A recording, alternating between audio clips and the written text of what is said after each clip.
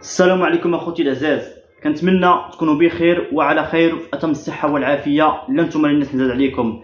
كنتمنى تعطيوني اللايكات ديالكم وضربوا لي التعاليق والبارطاج إلى جرى خاطركم. الله يكبر بكم أخوتي العزاز.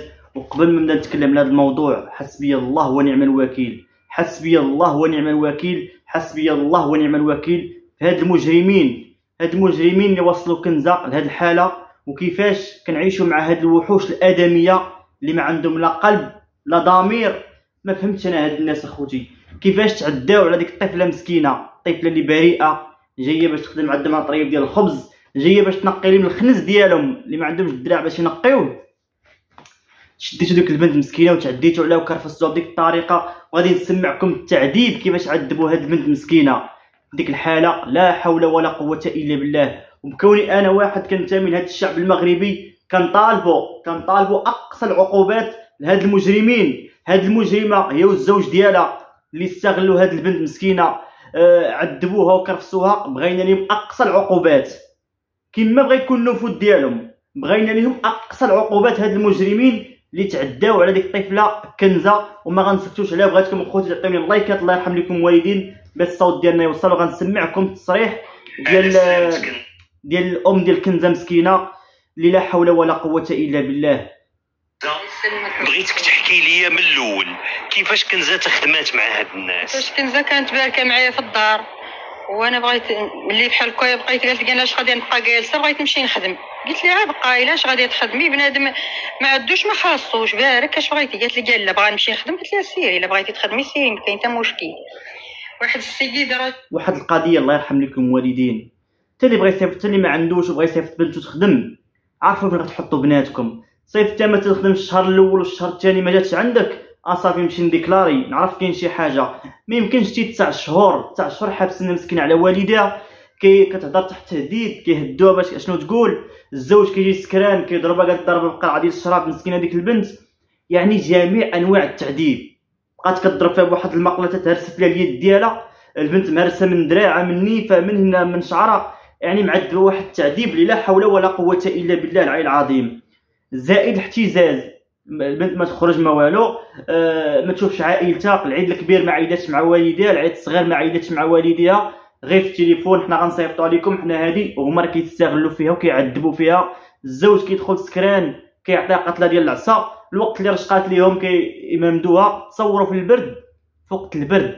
حنا عارفين البرد كي كيكون أخوتي. راك انت في الناموسيه ومغطي وكيجيك البرد كيخليوها تنعس فوق الأرض يلا شوف هاد الناس القلب ديالهم كي داير هادو راه ماشي هادو ما هادو وحوش هادو هادو وحوش ماشي بنادم بالنسبة لي أنا. واش بارك أش بغيتي؟ قالت لي قال لا بغا نمشي نخدم. قلت لها سيري إلا بغيتي تخدمي سيري ما كاين حتى مشكل. واحد السيد راجل بنتي كاين في مراكش. قالتها لي قالت لي راه باغا نخدم. واحد النهار دار لي التليفون قال لي كنزه باقا باغا تخدم قالت لي راه ما كرهت راه باغا تمشي. قال لي يلاه جيبيها لقى وصلي لسطات راني غادي نلحق راه واحد المرأة.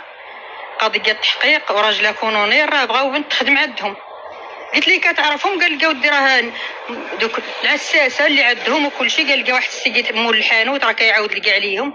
قال لقى الله يعمر هذا راه كنعرفهم. ما قال لقى أنا شفتهم مع بالوجه ما كنعرفهمش. قلت لي صافي نديها لك. معليش بها كدير تمشي تخدم. ملي ديتها بقات عندهم مدة واحد الشهر. ملي كنصاونيو عليها بغينا نشوفوها قالت لا. أشنو بغيتوها؟ أش بغيتوها؟ قالت أش بغيتو البنت؟ كنتم مكرفسين عليها. سمعوا. ملي كيبغاو يشوفوا بنتهم الأم بغات تشوف البنت ديالها وكتسوي عليها كتجاوبهم السيدة اللي اللي خدامة عند البنت. كتقول لهم بنتكم راه ما بقاتش بغانتكم بنتكم كنتم مكرفسين عليها بنتكم ما بقاتش بغات تجي عندكم عطيوها اتساع. الوالدين مساكن حنا عارفين أخوتي الناس ديال البادية والناس ديال العروبية راه مساكن ما فاهمينش في القانون وما عارفينش بزاف ديال الحوايج وكيخافوا. راه الناس ديال العروبية راه كيخافوا من الناس اللي لاباس عليهم. راه ما عارفينش أن القانون كيطبق على الجميع وداكشي كاين بعض الناس في القرى وداكشي مساكن عا كيبان لهم شي واحد عنده الطوموبيل ولا شي واحد لاباس عليه كيخافوا منه. ما عارفوش أما حنا راه سواسي أمام القانون. راه ما كاينش هذا لاباس عليه وهذا غني وهذا فقير قدام القانون. القانون فوق الجميع. والله يبارك لينا في عمر سيدنا صاحب الجلالة. فهمتوا باش شي واحد يكون كيما بغى يكون المنصب ديالك. التزم القوانين ديالك. ما عندكمش الحق تعذبوا ديك البنت وأنتم جايبينها خدامة عندكم كتنقي لكم خنزكم وكتخدمكم سمعوا مازال تصريحات أخوتي شنو كانوا كيديروا ليها. أنتو ما بغاتش تمشي عندكم ما تلاش بغات تشوفكم قالت رانا درتها بحال بنتي أنا درتها من العائلة أنا ما دايراش خدامة عندي رانا مهليه فيها. كنخرجها معايا كان ندير الحمام تركي كندخل اللي تعقمها قالت 100 درهم قالت باش كتعوم كلشي قالت اش بغات؟ قالت رانا مهلية فيها كاسياها شريت ليها قالت شنطه ديال الحوايج 40000 ريال شريت ليها هادي.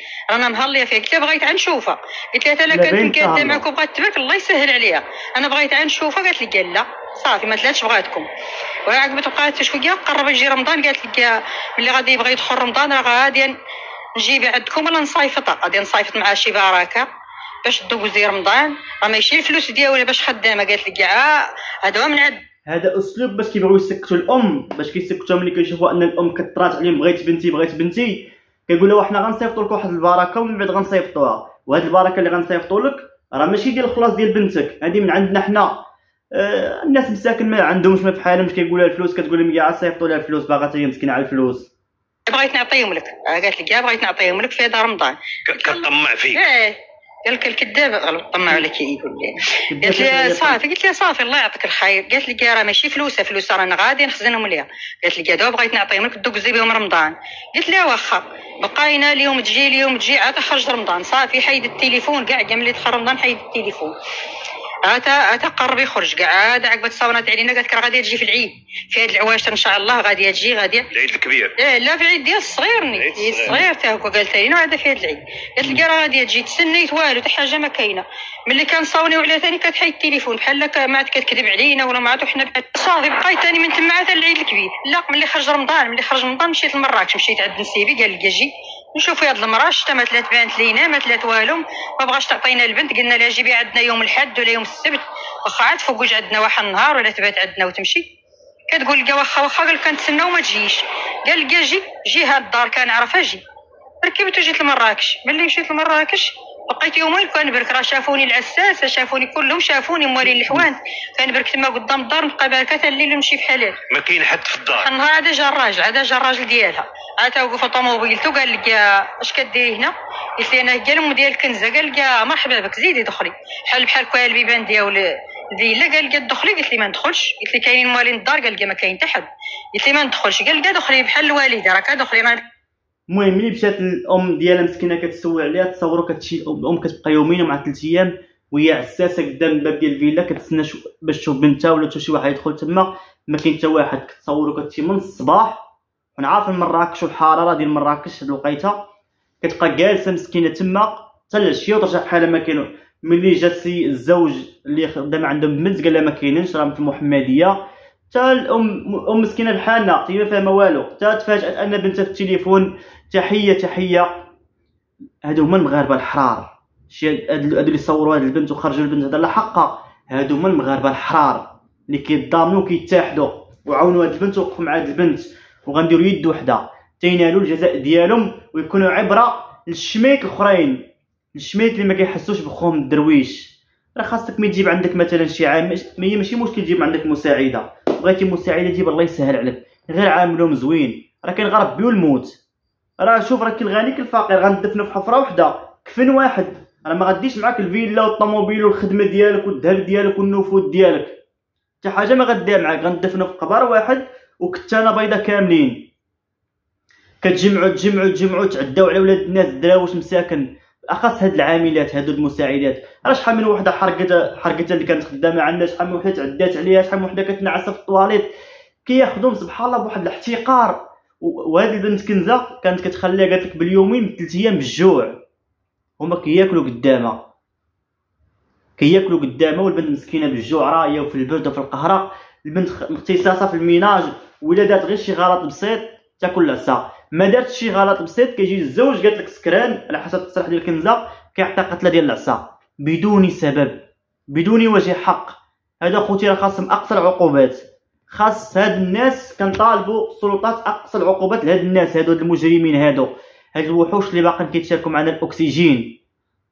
واش حنا في 2024 وباقا بحال هاد النوع عايشين معانا وكيستغلوا هاد الخادمات مساكن ويتعداو عليهم. وما خفيه كان اعظم غا جاب الله البنت مسكينة هربات.